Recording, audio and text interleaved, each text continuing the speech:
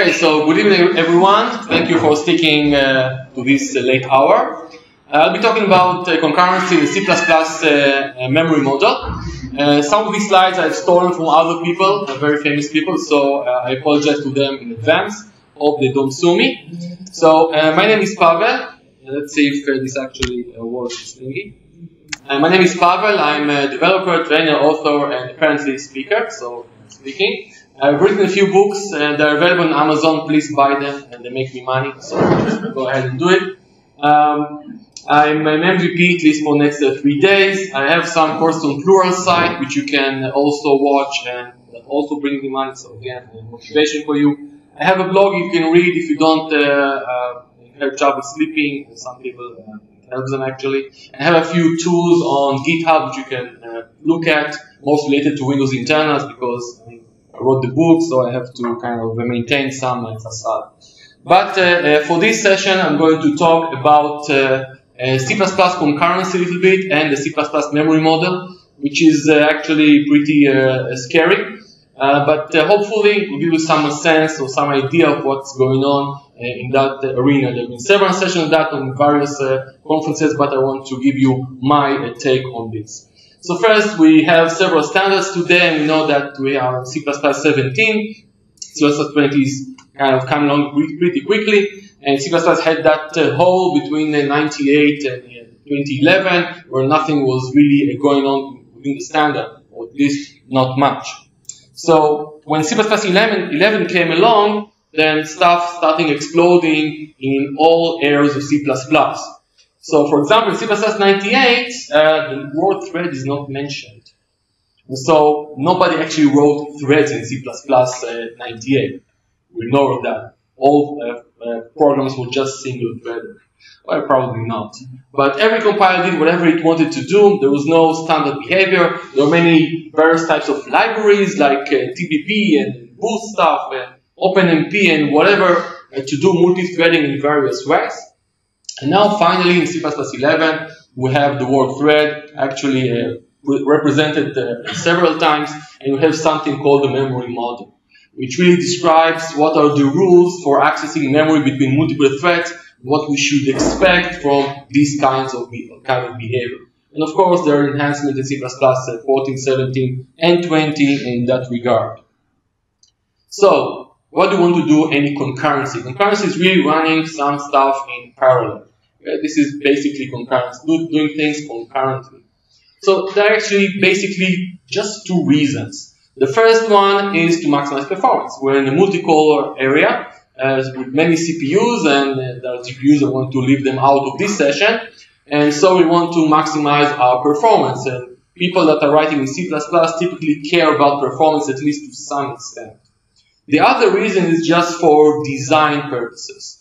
So if you take any reason you, you can think of about uh, why you want to do things concurrently, it will fall in one of these categories. All the other things you can actually put in the second category if you don't care much about performance. Just about how you design your code, how you structure it, and so it gives you some benefits.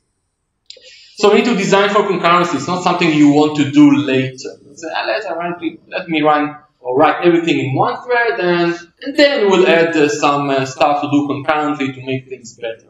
That typically will not work. So you should always design that up front and take the, the appropriate consideration to that because you may introduce a lot of uh, new and subtle bugs which I'm not sure the zoology and uh, session previously can actually help you uh, decipher. So you should probably uh, think about this beforehand.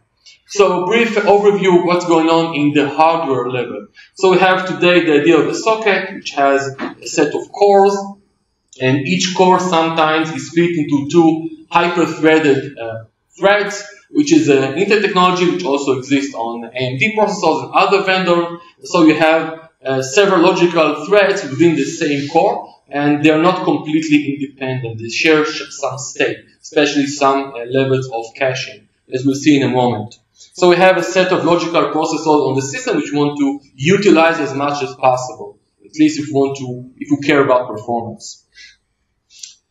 So here's a simple example to kind of start you up. Um, we have a very simple algorithm here which what it does is, uh, you probably guess, it sums up a matrix. So I have a class here called a matrix. I've written that class, and it has appropriate operators for uh, index operators, index operators, uh, uh, to get an element in a particular location. And I want to sum these uh, values in two ways. So these are two ways which are essentially the same. And we're just changing, exchanging what, the rows for columns. So we're doing row major uh, summation and then doing column major summation. We want to see what's better. And if you uh, studied any computer science, you would say, I mean, that's exactly the same thing. We're doing exactly the same work. I mean, what's the difference? It just seems pointless. But unfortunately, in all this stuff related to performance, in many cases, our intuition is blatantly wrong. I mean, just miss the point. We think something that seems to be making sense, but eventually find out the, the reality is completely different. So in these cases, we always talk uh, about performance first, we need to measure. You, can, you can't uh, predict anything, and even your strongest intuition may be completely wrong.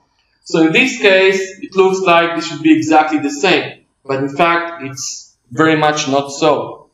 So here's a little benchmark I did on uh, my machine. This is not my machine, I don't go with Lenovo forever, but I did it with this machine. And so uh, this particular uh, type of processor and with the Visual Studio 2017 15.6 compiler, which is fairly recent, and as you can see, I've uh, used some uh, several sizes matrices to, to uh, check this out. One was with row major, and the other with column major, and I measured the time it took and also the sum of these numbers just to make sure I'm actually getting the, the correct result and uh, doing the actual the same work. As you can see, the results are the same, but from timing purposes, this is completely different. Row major is, is much faster than a column major.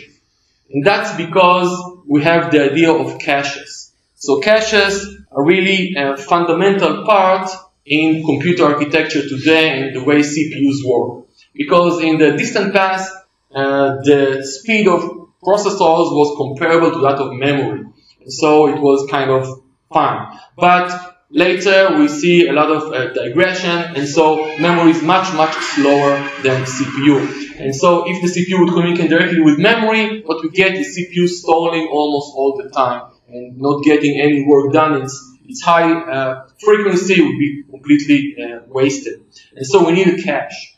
The, the purpose of the cache is to provide fast memory for the CPU. So if you can make your needed memory reside mostly in cache, you get better performance. If you have to actually go to memory, you'll get worse performance. And I mean really worse performance. So the idea is you want to utilize the cache as much as possible. So this is what we have in a typical computer system, I mean typical laptop for example. We have several caches. Each cache has a level. Level really means its distance from the processor. The closest to the processor, the, the cache is faster but smaller. And the numbers we're talking about here are very, very uh, small. And the reason why we got uh, different performance is that because things are, when they are consecutive, contiguous in memory, they can be brought together into the cache and then the CPU just goes over the cache, which is much, much faster. In the column major uh, case, we did just kind of jumping to other location within memory, which we missed the cache because the cache is small. And then we had to kind of get the data from real memory, which is several times factors slower. That's why we get these differences, which again, computer science says everything should be exactly the same. So performance is not just about multi-threading or multi-cores. You need to always look at some other things which are not obvious. In this case, this is cache. So here are some typical sizes for caches. They are really, really small. I mean, 32 kilobytes. You remember what a kilobyte is anyway? I mean, I don't even know what, what that is. You take a, a telephone, you have uh, more memory than, than I had in all my Commodore 64 computers ever. I mean, this is really, really small amount of memory. In fact, the way caches work, they don't work on single bytes. They work on something called a cache line, which is typically 64 byte in size. So even if you write a single byte, you don't actually write a single byte. The processor is actually going to write more than that. whether you want it or not. This is just part of the optimizations that uh, the CPU hopes to make depending on your, the code that you write and the way you arrange your, your memory. And so here's another example for you. This is a little bit more tricky. So I'm going to describe what we see here. The idea is very simple. We have an array of numbers. We want to count the number of even numbers in that array. And because this is something we can actually split into multiple threads, we want to do it. We want to split into multiple threads and see if we get can get better performance by using multiple threads where each thread will take a chunk of the data and then just count its own even numbers in own chunk and then finally we just uh, sum everything up and see what we get. And so let me describe the code if you haven't seen, uh, seen multi-threading in C++11, Let me give you a, a brief overview here. So we have uh, the function called the count even numbers, that's version 1 and it has the pointer to the array, the size of the array, and the number of threads we actually want to use, the amount of concurrency we want to introduce into the algorithm. What we do here, I create here an array of numbers which should hold these uh, counts for uh, that I'm trying to uh, to do here. So each one represents count provided or updated by a particular thread, and then what we do, we try to create n threads and each one has a start and end point, which is the chunk that was allocated for that thread. In this case, the last thread gets to uh, kind of uh, get the rest of of the uh, of the, the tail of the chunk that just didn't uh, wasn't divided uh, properly, which is of course not that very important for our purposes. And so I'm creating a thread here. Here's the thread object, and I'm passing in a callable object. In this case, a lambda function. And I'm saying here's you get your in your start, here's your index in the table of counts, of sums, where you need to put your own sum, which belongs to you, which is part of this array. Here's your starting index, here's your end, ending end index, and just go for it. And so what we have here is just running over a simple loop and incrementing the counter the appropriate index if the actual number is in fact even. Very, very simple. And we pass these parameters to the lambda function, and then we just add these to the array, the vector of threads here. We need to do move because uh, thread is not copyable. You can't just copy a thread. What, what, what would that mean anyway? That doesn't really compile, so we need to move the ownership from the T object, kind of making it a zombie, and putting it into the vector of threads. And now these threads start executing immediately. Once you create an object, just start executing. And so all what all the main thread needs to do here is just wait for them to finish by calling join on the vector or each thread inside the vector. And once they're done, it's going to just sum up all the uh, parameters that array, and then we get the final result of the sum. So this is the idea. And let's see how it fares out. So I tried that with from 1 to 8 uh, threads because this machine had uh, eight logical processors, so it kind of makes sense not use more than eight processors because then would be context switches and contention stuff like that, and I don't want that uh, to happen. So I used one thread, then two, then three, and counted uh, the. Uh, I got the sum and made sure it's exactly the same value, and then how much time it took. And if you look at the results, which may be a bit small for uh, some of you out there, um, we can see that the first thread uh, does the worst, but uh, the performance improves somewhat, and then it starts to get worse. So adding more threads, it starts to get worse, which is really, really weird. We actually expect some form of linear improvement because each chunk is equal in size practically, so each thread is doing the same amount of work. So everyone should be working all the time. There's no such case when one thread finishes early and so there's an empty processor just uh, sitting there. So we should have improvements, but we don't. Anybody knows why? Except I did maybe saw my uh, presentation. Uh, what creating what? Threads? No. Why, why? There's no overhead for that because I'm creating only eight threads at most. That's it. Creation is not that bad. Most of the time is spent uh, working that loop. What, what is the difference between each chunk? Between what? Each chunk, what is its size? Uh, I don't remember, but big. You're fighting over the Right. So, so some of you know all this stuff. Probably seen that uh, previously. Uh, they're fighting over the cache. So what we have here is something called false sharing, because here's what happens. Every thread goes to its own index, so it is a different memory location. So there's no data race here. So there's no problem. The algorithm works. So the standard, uh, one of the promises of the standard is saying if you access different memory locations by different threads, you're okay. Everything should work out just fine. So theoretically, I'm fine. The sums are all correct. But what we have here, because these counters are contiguous in memory, they would typically fall in the same cache line. So once one thread is writing there, it actually invalidates that cache line. So the next one does it and line is, uh, again. So we have reads from memory rather than working with the cache alone. And this is really a major uh, bummer in this particular case. And so all we need to do is make simple change by introducing a local counter for each thread and adding, uh, just incrementing that counter, that local counter, and putting the result in the final index only once. And the results, the results are really uh, improved significantly.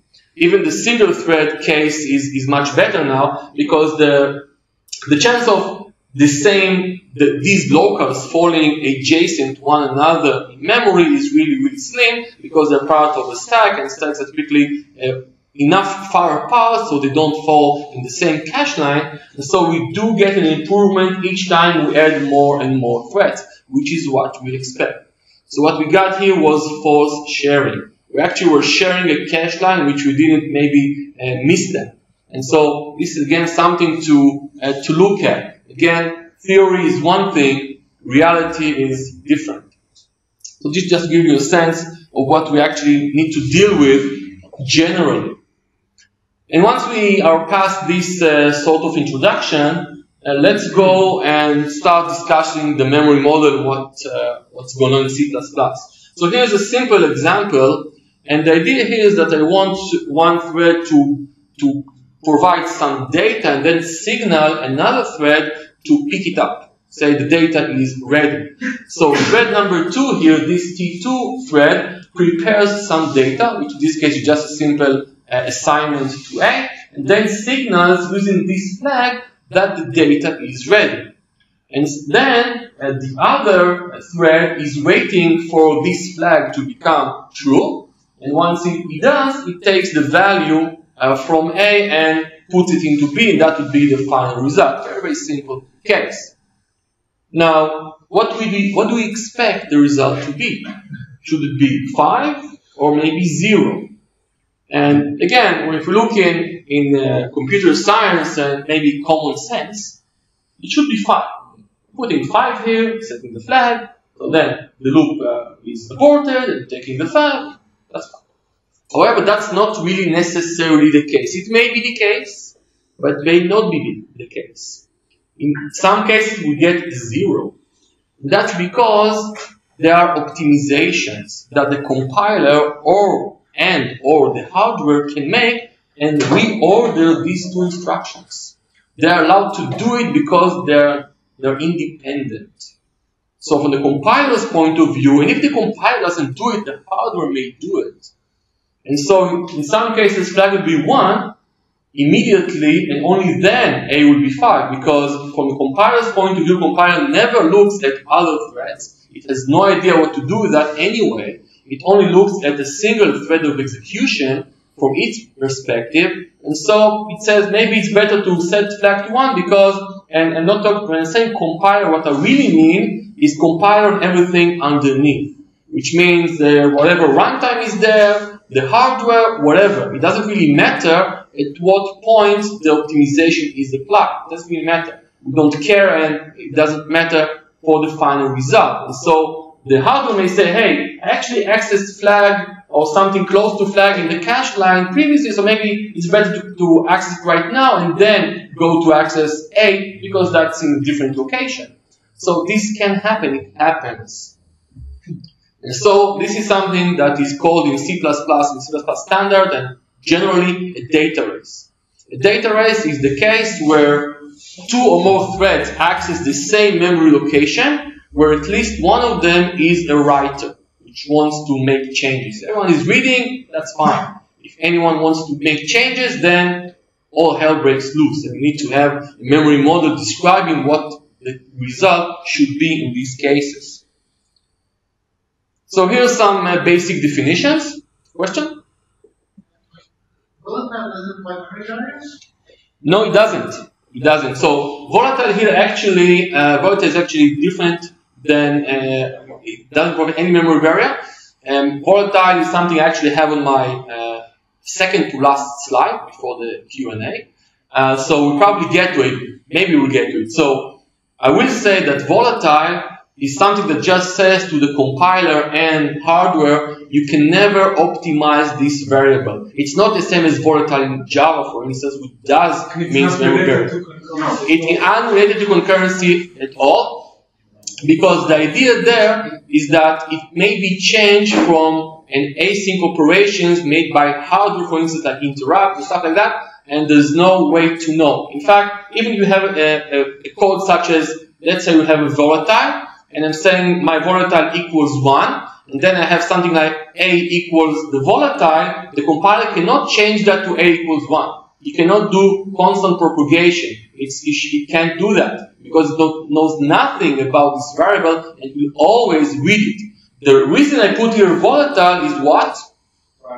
Because of that why thingy. Because the compiler would say, hey, you're checking flag, you're not doing anything to it in the loop, so I just read it once, and I have uh, an infinite loop here. So I'm just forcing, in this case, the compiler not to make that optimization. That's the only reason I added volatile here, but it has nothing to do with concurrency at all. And in fact, it is out of the C++ memory model. So, some basic definitions. We have byte, which is probably uh, something you're aware of. Memory location is where objects are stored and everything has distinct memory location except uh, bit fields, which are, in case they don't, they don't share another uh, byte boundary, they have the same address. So it's something to keep in mind in some cases. We have an independent uh, control flow, which we call a thread, and we have something called a data race, which I just mentioned. Data races are the problematic things in concurrent code. We have multiple threads accessing the same memory in which at least one of the threads is a writer. So here's another example to show you the problematic stuff. This is a very well-known algorithm uh, from the 60s or something like that, maybe 70s, uh, from Dekker. And this is kind of a poor man's uh, critical section. So the idea is that I want a single thread between these two threads to enter some critical region of code where it may be accessing some shared data. So here's one conceptual way to do it. When I want to be the one entering the critical section, I'm setting flag 1 to 1. This is my uh, signifying my intention to enter the critical region. And then I'm checking the other guy's flag. If it's true, it means it said that already, I'm going to back off because it's, it, it would be the one entering the critical region. If not, then I'll be uh, continuing into my critical region and my friend there is going to be do the exact opposite. In theory, again, this is something that works. But in practice, it is possible both threads enter the critical region. And there are several reasons for that. One of them is reordering. But even if we disregard reordering, say, hey, that will not be reordered. There's something else in play here, which is something called a store buffer. So the idea here is when we set some value, the CPU doesn't really come running and writes that immediately to memory. That's way too slow. It's going to write it to something called a store buffer and then flush that store buffer asynchronously later without uh, hanging on to, to the processor, the, the processing power, uh, and letting the thread continue on its merry way before even that happens. And so one flag sets uh, the value 1 to flag 1 in the store buffer. Same goes, for example, practically maybe the same time, on another processor from flag 2. When the first thread tries to read the value flag 2, because these are and not the same uh, locations, it goes into main memory. And so it doesn't see the updated value. Why would it? There's, there's no reason. Nobody told it they're actually uh, needed to be synchronized. We have to do something to make that work because that actually requires the hardware to work harder. So by default, we just get the value zero for main memory because again, there's different locations. If we were reading, try to read flag one, we'll get the correct value of one because it looks at the store buffer first. But the store buffer doesn't have anything to do with flag 2, so it goes to main memory. And so what we get here is just missing the, the point and doesn't work even if there is no reordering in the, uh, in the original algorithm with flag 1 and flag 2. So that's not good. We need to do something about it. And this is uh, something we aspire to called sequential consistency. Sequential consistency means that the program executes in a set of steps which you can reason about, which you expect, even if multiple threads are involved, and you actually get the behavior you kind of expect to be. However, sequential consistency has a price. That price is reducing the, uh, the optimizations possible to do by compiler and hardware. So here's an example what sequential consistency means. Let's say we have two threads, T1 and T2. T1 does A and then does B, T2 does B, C and then does D. So sequential consistency means that all of the combinations are possible between these operations while maintaining order. So for example, this is a legal case. This is a legal case as well. I can reason about it, I know that can happen. This is a, reason, a, a reasonable case as well, and so is this one, and so is this one. However, something like this is not possible in sequential consistent code. Because we have something that is out of order, maybe even running completely concurrently with another thread. So of course in practice, this also may run concurrently, but the effects seem like they aren't running concurrently. That's what sequential consistency means. It's something I can read and say, ah, okay, this happened, then this happened, this happened, that's why I got the result that I got. Maybe they did happen at the same time, but the result is something we reason about which has some global order which every thread actually can agree upon. So this is not sequential consistency. And is this a requirement of the compiler by the standard? I'm getting to that. Uh, actually, the answer is yes and no, uh, which is always a good answer. And so we'll uh, dig into details uh, in a moment. But sequential consistency is something that we're kind of used to. On a single thread, it's always sequentially consistent. That's not a problem because the compiler sees all the dependencies. It knows not to do something and reorder stuff that has dependencies on one another. So in a single thread, there's never any issue. We never actually think about it. But in a multi-threaded world where we have caches and store buffers and other weird stuff we're not aware of, this could be an issue because sequential consistency is something that comes at a price. And so the software industry actually tries to settle something a little bit less, uh, less powerful, but good enough for us to work with called SCDRF, which is data race free, which means you can get sequential consistency if you don't have data races. If you have data, you have data races, you're on your own. Good luck with that. But if you don't introduce data races, the compiler and hardware guarantee you'll get sequential consistency in those cases. So this is the default memory model in C++11. We can change that if you want to implement something which is more relaxed, which means we can relax the rules and then move away from a sequential consistency model to something which is much tougher to work with and to reason about, but in some cases can actually be useful. That's why it actually was introduced into the standard. But the default way the standard works is saying if you work by the rules, which means you don't introduce data races, will guarantee SCDRF, which is good. We can, we can reason about it. All we need to do is take care of those pesky data races. So if you don't make them, you are fine. And what we had previously in the previous examples are exactly data races. Because we were accessing the same memory in multiple threads when at least one of them was a writer. So that is something we have to take care of. Otherwise, we don't get SCDF. In fact, that's why it fails. That's why Dekker algorithms just fails because we didn't use data race. So all, or everything is actually uh, can happen. In fact, we get something called undefined behavior, which is the, the best in C++. So the machine can, can catch fire, uh, maybe an atomic bomb, uh, anything can happen depending on the uh, mood of the compiler or the hardware, who knows. And so let's talk about optimization. So the compiler knows everything going on in a single thread. That's never a problem. It never knows what's going on in another thread. It can't really know. And even if it did, it would never know the semantics of shared data between threads. It, it wouldn't know which locks maybe it should take. It has no idea. And so the only way to actually make these things work is just to tell it.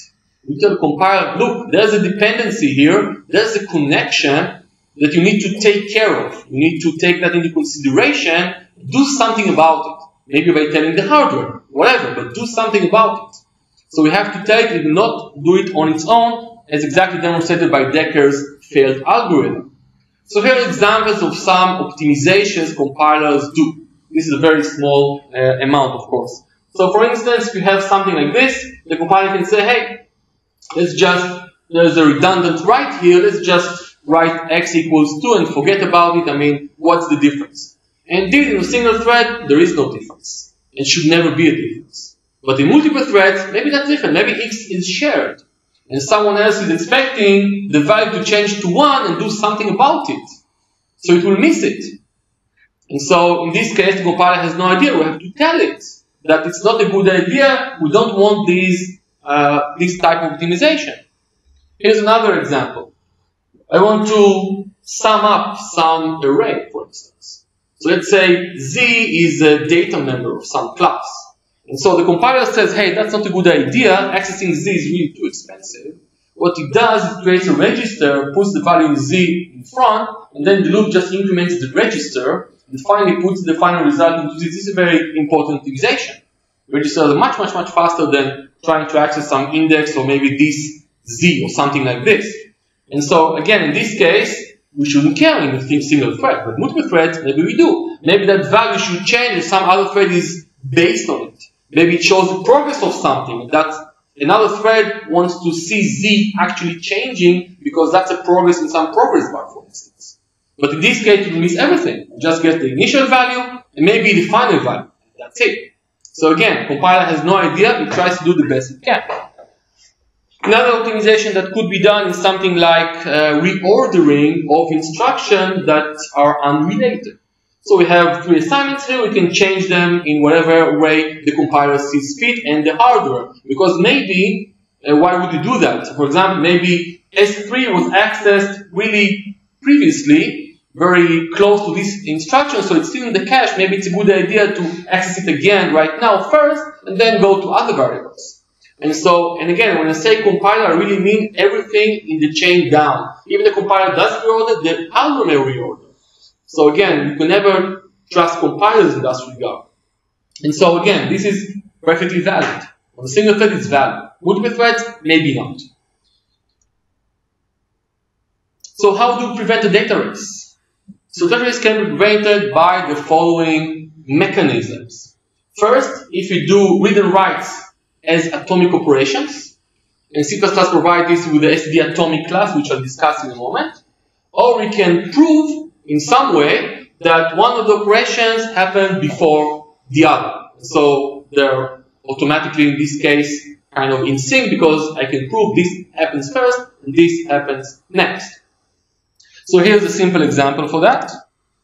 Here's a simple data race we're creating several threads here which increment a counter which is just a normal variable. So we have multiple threads accessing the same data when at least one of them is writer. So in this case, everyone is a writer. And so we know that in such a scenario, instead of getting a count of, let's say, 500,000, we get something less. Some of those increments will just go away because this stuff is not uh, properly synchronized or not properly protected. So to do, to make this actually work correctly, all we need to do, which is one of the rules here, is make the variable count as atomic. This this actually causes the compiler to emit special instructions to the hardware saying, hey, that really, is, you can't do anything you want with that. In fact, you can't reorder instructions around an atomic. In this case, you can't reorder anything here, and the operation is atomic. Either it happens or it doesn't, but eventually it's going to happen, it's going to happen fully, and there's no way to look at in the middle and see what's going on in there. So this is actually preventing data. This is fine. This is fine it works correctly. So one way to get around data races is really work with atomics. This is also something that can help us and solve, for example, Dekker's algorithm to make it work correctly. So atomic operations is an all nothing. This is what I had on my uh, title slide in atom.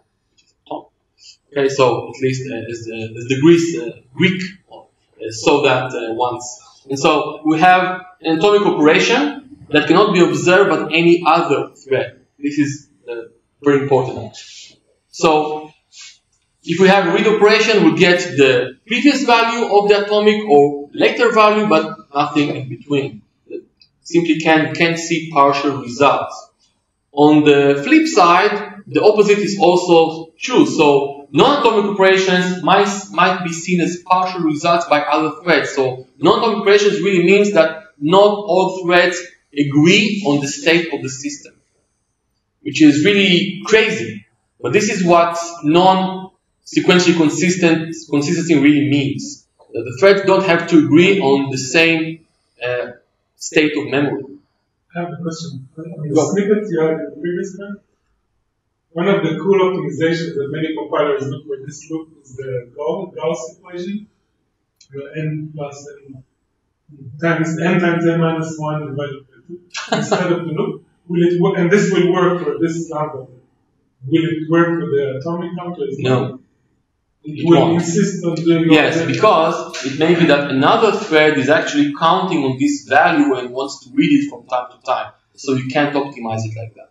So again, the idea of when you have these kinds of things, you, you hinder optimizations. This is the price you pay for continually working with sequential consistent code uh, with when you're free from data races. That's a good question. So what we have in uh, atomic is the class atomic of T. An atomic of T has atomic operations. So all operations are atomic for sure, but none of them are necessarily lock-free, which means that some operations can be done lock-free really means that we're not doing locking in software, but only by hardware. And so there's a member function called isLock-free, which is an instance function that says whether your current instance of atomic of something is actually lock-free if you care. So if you want to do some performance measurements, maybe you want to make sure you're working with uh, lock-free operations only with atomics. So for instance, when you're working with an integer, it probably be lock-free. Most uh, hardware, all hardware that I know can do these things uh, atomically, not a problem. But if T, for example, is a structure which is larger than uh, the size or the word size of a machine, or badly aligned, then it can't be done atomically on most hardware. And so what we get behind the scenes is a mutex that would uh, protect that structure.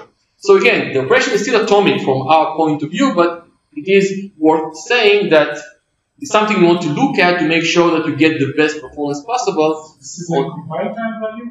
No, it's a runtime value um, in, in that sense. So it, it is compile time in the sense you select the particular type, you say atomic of something, so the compiler already knows what actually is going to happen because, because it targets a specific architecture. And so it's based on the architecture and the type that you provide. And of course, you can't provide anything you want. You must provide either one of the integral types, uh, pointers, which have partial specialization, add some operators like plus plus and minus minus, and structures which are trivially copyable. They can't have virtual functions and stuff like that. You can't do that because uh, this is not allowed for atomic. So here's some uh, details about the member functions of atomic. So we have assignment, and we have an operator that can return us reading the value of type t. That's easy enough. But you also have the function load the store which do the exact same thing. So why do these functions exist? That's not because because some people like functions more than operators. That's not the, that's not it. But because they actually have an overload accepting a memory order. And this is our chance to move away from SCDRF to something which is more relaxed and allow the hardware to do more optimizations at the risk of making mistakes. And so if you look at every possible talk on, on the web on relaxed atomics, always the presenter says, don't do it. Never use it. I'm going to show you what it looks like, but never do it. And so uh, I have to kind of uh, uh, follow suit and say, never do it. Okay, but I'll show you how that looks like. And so we have load and store and have some other more interesting operations like exchange. Exchange means I can exchange some value and without seeing any partial results in between uh, by any thread in the system. And there are some more interesting operations which are compare exchange, which actually is the basic or the fundamental of lock-free programming. And there's the weak and there's the strong version. I'll discuss the difference in a moment. And of course, there's support for plus equals operator and minus equals, all, all that stuff. And of course, there are functions that doing that as well, such as fetch add and, stuff like that. Again, not because operators are bad, but because there's another parameter that is provided there, which is the memory order. And for uh, for pointers, there are a partial step specialization that allows us uh, to have a plus plus minus ones and stuff like that. So here's the exchange uh, type operator. So the first one is, is rather relatively simple. It says exchange, here's a new value for you, giving back the old value, and nobody can see anything in between. That's simple enough. The more interesting is the compare exchange. Compare exchange looks like this, and the way to interpret that is saying that if the value in the atomic is what I expect, here's a new value for you, and return true to me. If the value is not what I expect, then return false, but give me the changed value as well, because notice this is a reference, not a const reference, actually being changed or may be changed by compare exchange. Another way to think about is that, well, is it me that gets to change the value? If so, I get back a true. If not, how come I didn't, I wasn't the one to change the value? Another thread did it. While I was trying to do that. And so maybe I'll try again. And this is something that we typically do in lock-free programming, where we try something, it doesn't work, which means another thread did the change before us, so we kind of, let's try again. We typically try it in a loop until it succeeds. It must succeed at some point, because maybe other threads are attacking this same uh, data structure, but eventually they'll be done, and I can move on with my own change. And so we have exchange weak and strong. The difference is just that the weak can actually fail spuriously, not because another thread made the change, but because hardware idiosyncrasies. I mean, hardware is crazy as it is, so it may fail in some for some mysterious reason. So the simple general rule is if you use it in a loop, always use weak. That allows some hardware to perform some optimization. So it may fail uh, from time to time, but that's fine. It means it returns false. No, no, yeah, it returns false, but not because well, fail in the sense that it returned false, but the value wasn't actually changed by another thread. It returned false just because, because hardware is crazy and understands it. Okay? The strong version guarantees that it will succeed or fail for the right reason. So it failed if another thread actually made a change. But in weak, it can fail just because it failed. So I'm going to try again. So if you use a loop, which in many cases in lock-free programming you do, you should use weak. There's nothing to lose here, really.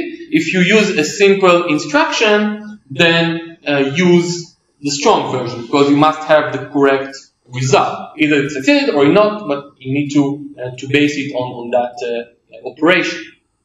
So this is in fact the fundamental building block in lock-free programming, which we'll not get to in this session. So here's something that is very similar to the first uh, case we've seen where we prepare some data, then another thread uh, wants to get the data when it's ready. But this time, this actually works. This works because this time our boolean is atomic. And so the atomic forces order. By default, it forces an ordering, which means you cannot reorder anything above or below the atomic. This is the default behavior. This gives you sequential consistency, something you can reason about. It's not maybe the best performance that's possible, depending on the type of processor you're using, but it is something you can reason about. So in this case, when ready equals 2 is here, there's no way to reorder this. The compiler or the hardware cannot reorder it. This is an atomic. This is a stored atomic. So this releases also the value, kind of publishes it to the world. And so this uh, waiting here, notice there's no volatile or something here. You can't really write a volatile atomic. It's not uh, something that we compile, but you don't need it because the atomic forces you to read the, the real value. And you can see here a pair. This is called release. This is called acquire. I'm acquiring a value. I'm reading a value. And these are something the hardware is aware of. This is part of the hardware. They know these are a pair. If I publish some value, that's because someone else is interested in that. I'm not publishing a value just because. I'm not just incrementing some number and nobody ever looks at it. That's very boring uh, number. And so if there's a write, there's somewhere a read. And they're always synchronized. The hardware makes, makes sure of that in a sequential consistent, consistent case or SCDRF, which is the case here, which is the default in C++ and C++ memory model. Which means this is something which is easy to understand and easy to reason about. And so acquire really means something that means I'm reading something, and so things can actually go down. We can actually uh, move instruction down, but not up. We can never change the order. In case of atomic, by default, it's acquire and release. Actually, you can't move anything past an atomic in either direction. Release really means publish a value. Anything before that is now visible. So you can't really take it out. You can always you can take in if that uh, pro provides some performance optimization, but you can't take anything out. So this is kind of the direction where the compiler and hardware can move instructions. They can't really move it out of that region. This is, a, by the way, the same for mutexes. Mutexes really is acquire and release. And in these cases, you can't move anything out of the critical region. Otherwise, that would break. But you can move something in if it makes sense in for whatever optimization the hardware thinks it's a good idea.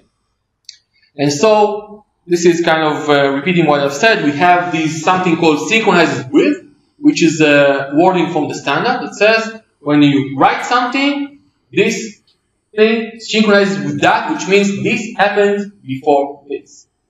And hence it's called that happens before uh, relationship.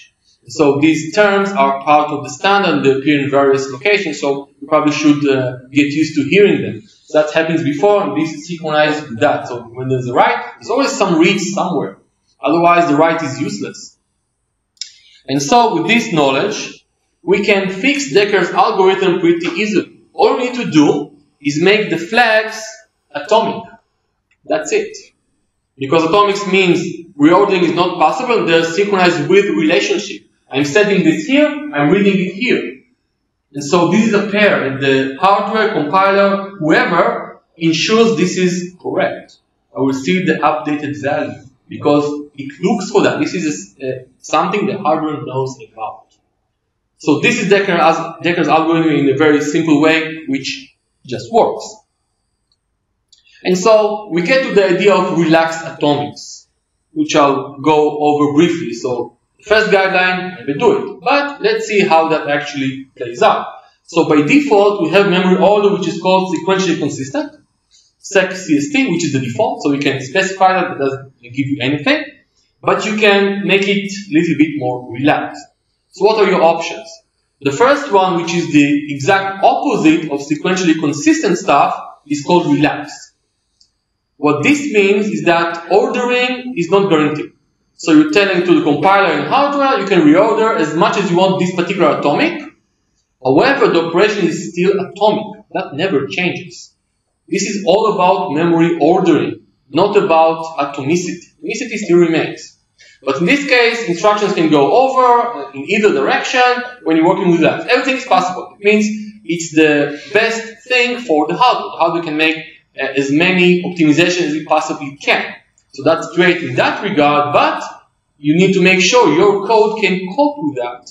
Because in this case, what happens, you have an inconsistent state of the world. One thread may see the old value, another may see the new value. And that's, that should be fine for you. If you're not fine with that, remove it and go back with sequential consistent case, where everything is kind of what you expect.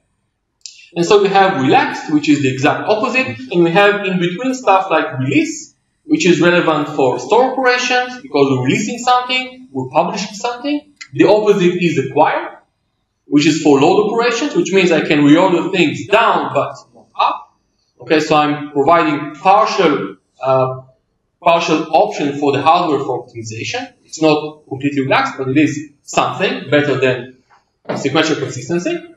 There's some other weird stuff like consume, which is actually almost the same as acquire. Nobody uses it. No compiler uses it. In C++ 17 it's deprecated. In C++ 20 probably will go away. So let's forget about it. And we have acquire release, which is a bit weird. It's a bit less than sequential consistency, which means acquire and release, but it means uh, you can't reorder cross and acquire release, but you can move an acquire release uh, above a different release that is above you. So you have a acquire release, acquire release. This one can move move here. This can cause deadlocks depending on the locks that actually that actually held there, and so you should never use it in practice unless you really, really know what you're doing. So essentially, you have sequential consistency, relax, release, and acquire. These are the kind of make sense options.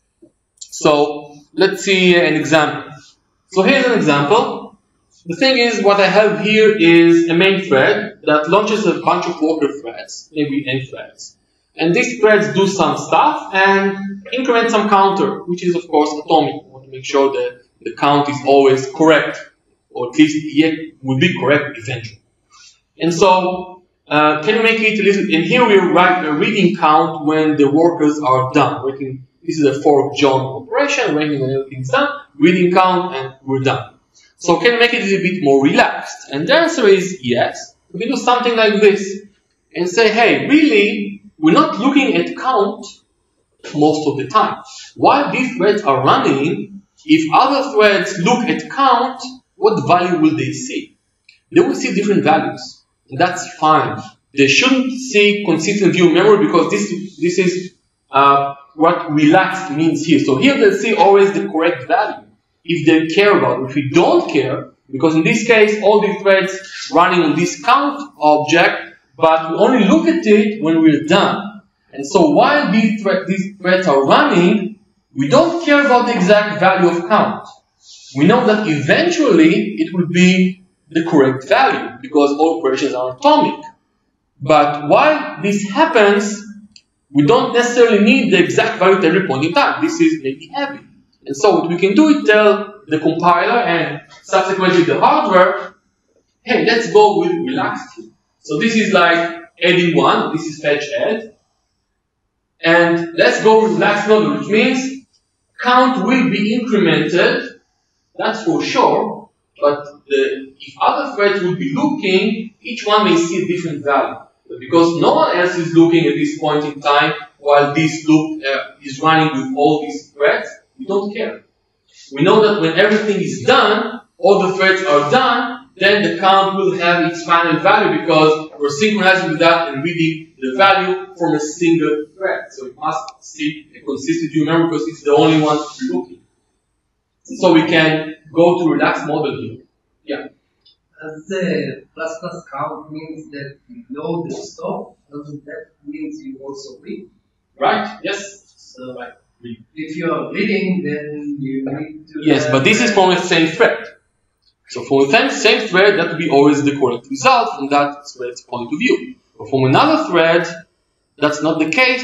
I mean, this code, yes, another thread will see always the correct value. What I'm saying that is, in this case, we don't really need that. Okay, so, okay, I understand your question. So the hardware is the one taking care of that. It may postpone the actual store to the count in whatever way it sees fit if you do something like this, or if you don't look at the value. If you look at the value, it forces the hardware to use synchronize with relationship and make sure you see the correct value. Okay, so from another thing. So maybe there are, so again, it means that the hardware cannot optimize. It's, it must always see this, the, the correct result at every point, which is not good. And because we don't really care about the value, we can relax it. So there are some use cases for relaxed atomics, but again, you should be very careful when you do something like this. And furthermore, it always depends on the actual processor you're running. In some processors like x86, you actually won't gain anything by that. Because x86 has a very strong sequential, sequential model, which on the one hand is good, on the other hand it's bad because maybe it's missing optimizations it could have had if it supported more relaxed models. So depending on your point of view. In fact, uh, Herb Sutter said that, that the reason relaxed atomics were actually added to the standard is because power processors and ARM v7 processors, which have a very relaxed memory model by default. And so their, uh, their options for optimization are much, uh, much more higher and not optimizing using sequential consistency is very, is actually causing them to create, to emit uh, full fences. And so they're kind of reaching out to the end. And so it is very expensive in ARM v7 and power to work with sequential, uh, sequential consistency. So this is for them. He said the half of the reason is power, second half is ARM v7. So without this, in actually the ARM v8 is actually the perfect because it actually provides exact instructions for SCDRF. x86 is too strong. Maybe Intel will do something about it. They actually did with Itanium, but Itanium didn't work out uh, quite as well as they hoped. So that's another reason why I'm saying don't use it because if you're running on Intel or uh, ARM v8, you don't really need it. But not everyone is running on these platforms as we've seen previously with the uh, Android stuff and uh, ARM v7. Just one, one additional note. Remember that uh, the PC will eventually come to ARM very soon. It is already there, in fact. Uh, yes, and so don't expect that your program will forever run on uh, On x86. Intel. Uh, Microsoft tried that once, but maybe now it will actually work. Uh, Yeah. Apple is trying to do that. Uh, shift uh, uh, macOS to, to ARM, and so everything is open. Don't don't, don't expect your. I, I don't, uh, I don't, and I take your, your point. Thread join and memory there. Yes, So you didn't really, so then we had the joint threads of the. Yes. the. You didn't really, when you read, you didn't any extra synchronization. I didn't have any extra synchronization. So, you mean in this case? Yeah, I'm just reading it as, as default. Alright, uh, so this is kind of explaining uh, these orderings. Let's see maybe another example. So here's Dekker's algorithm, and we know that it already works. At least uh, you have to be, take my word for it. So we're not using atomics, this works. But maybe we can relax it a little bit. So we can say something like this. Because here we're writing something, want to publish that right, I just need to publish that as a release operation. I don't think the acquire here really. Acquire is just too much. So I'm saying, okay, this is release. This is I'm reading something, let's go with the acquire. More, more chance, more opportunity for the hardware to optimize, if it can. And again, of course, this is a very simple example, but again, what I'm doing is saying writing is just releasing, so let's just use release. Reading is acquiring, and this, so let's use acquire.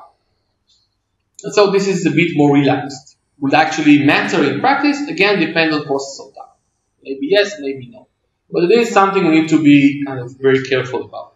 But isn't that the way those functions would be implemented anyway? No.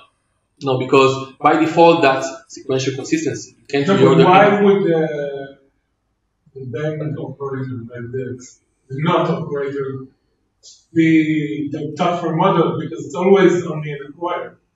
It ne- it's never stored. How does it know that actually synchronizes differently with another thread? Maybe another thread is actually doing a write, which is important. You can't really know about Here it. it's also the same. The other thread is doing it. But you don't know that. The compiler and hardware don't really know that.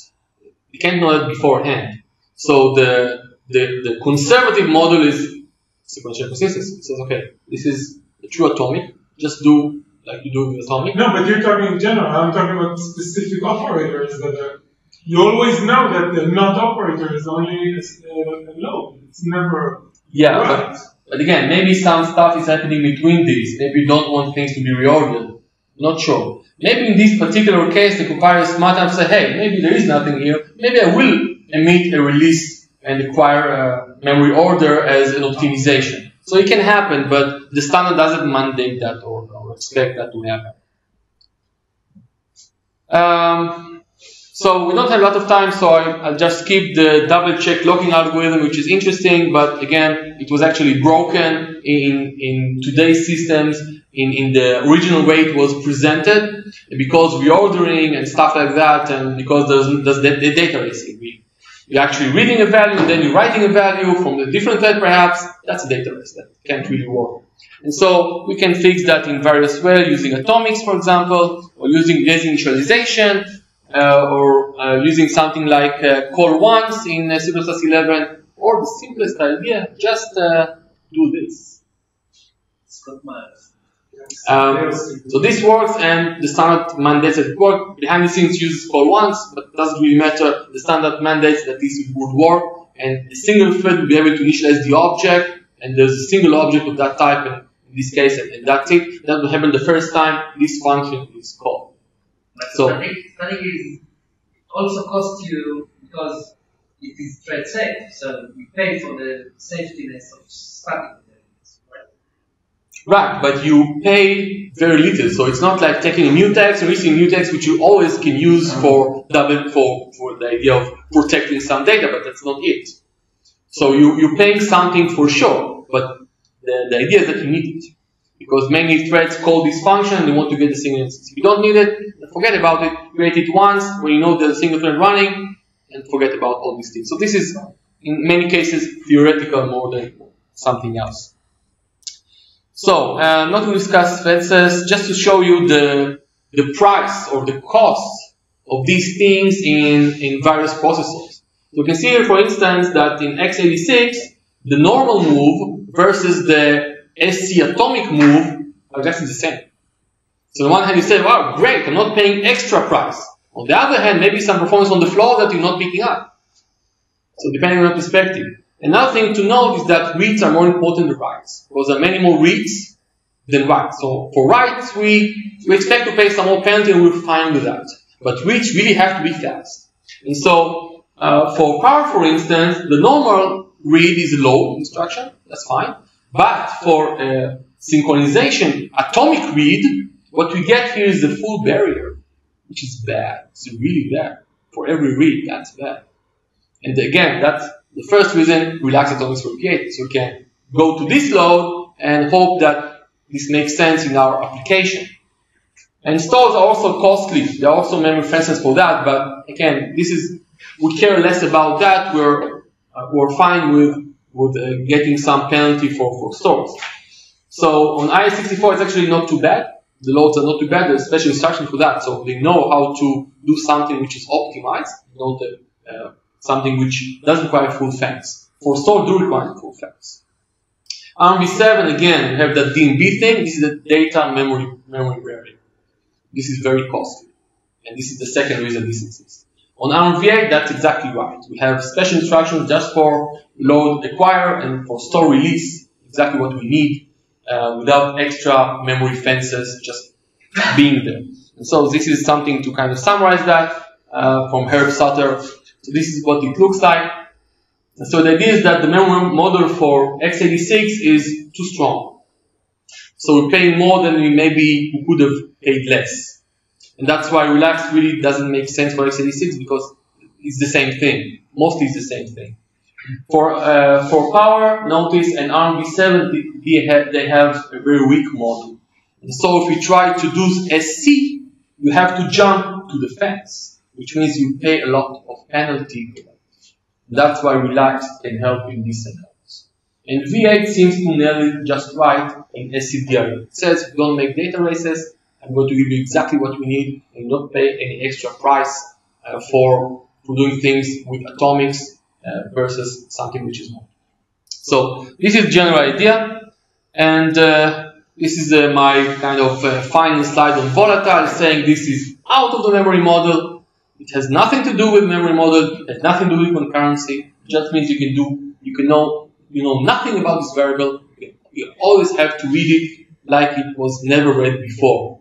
And even if you write something to that variable and you read it back, it may be a different value. So you have to read it back. Question. Sure. Uh, so volatile and uh, is guaranteed not to be read, read from cache, Exactly. Right? So in many cases, in many cases, if I know that compiler optimization does not uh, produce uh, the problem for me, the volatile is essentially enough uh, to avoid uh, uh, you know, threat consumer uh, Maybe, depending on the type of variable, it doesn't, it's not guaranteed to be I'm sure that's correct. If volatile is just uh, so the compiler won't optimize. Un, unlike what you said, The harder- no, hardware no, no, can optimize, but No, it it can't. mean anything special. Because volatile is, is usually used for uh, embedded systems, for example, where the hardware knows that this address is not really a memory address, uh, but an IO uh, register, IO register or something. So in this case, it won't go to cache because there is no cache. But I don't think it meets uh, any special instruction to the I'm not saying it's emitting anything, I'm just saying it cannot be optimized. And many people actually show that no compiler actually does volatile similarly or correctly. So volatile is not going to be used to- unless, like like as I said, you, you're in a very particular embedded system and the hardware knows that this address is special. So Try avoiding so, it. so bottom line, volatile, I'm not guaranteed that uh, the thread, uh, two threads will, will see the same value. You're not guaranteed because every time you read it it may be different. No, So you're not, you're not guaranteed on anything. There's no guarantee. It's like reading from an IO port. You may read it once, you read it a millisecond later, maybe different no, value. not For whatever reason. second layer. I'm thinking about same, very same, uh, very same movement. What, what is, the- what is the same moment? Who knows what that really means? Uh, well, I have no idea. Uh, probably. The idea you don't know, and so you, you can't really rely on anything. In any case, it's nothing with concurrency. Okay. So I'm done with concurrency. Thank you. Thank you.